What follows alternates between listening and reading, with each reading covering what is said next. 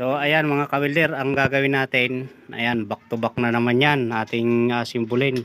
So sa madaling sabi mga kawilder, ayan natabas na natin yung salaminan at saka yung flooring na simbol na natin. So ipakikita ko na lang sa inyo kung paano mag-welding dito sa stainless at dito sa 5.8 na hindi nabubutas. Yung technique ba, ayan.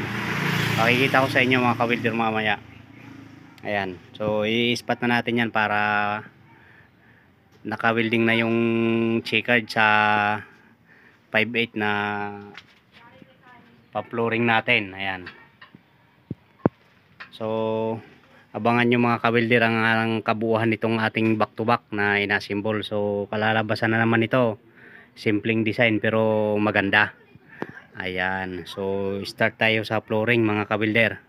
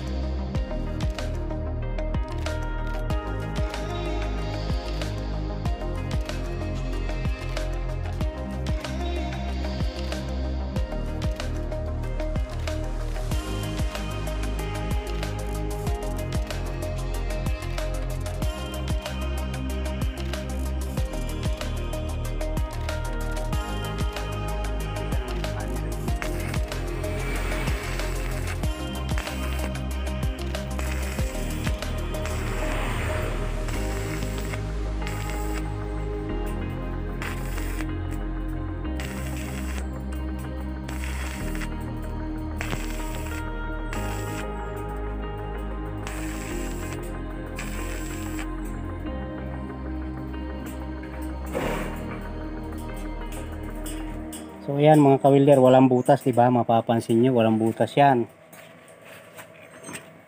Ayan.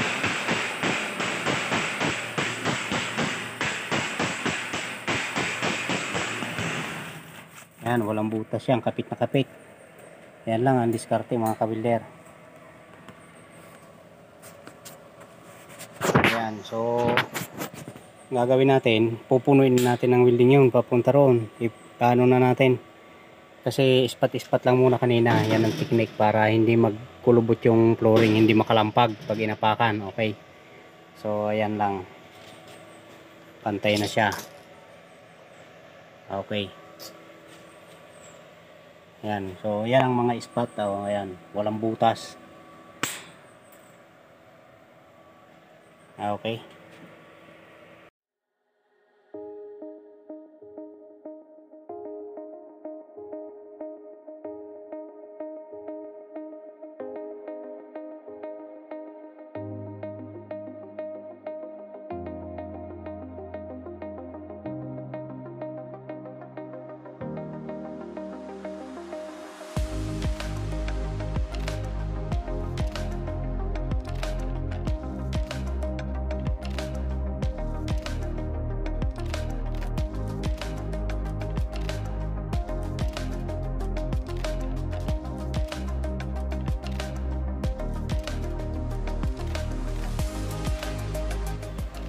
So ayan mga kawilder, kung mapapansin nyo, ayan o, pantay na pantay talaga siya.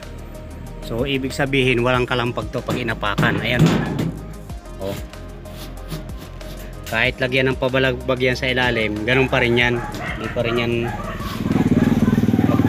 kakalampag.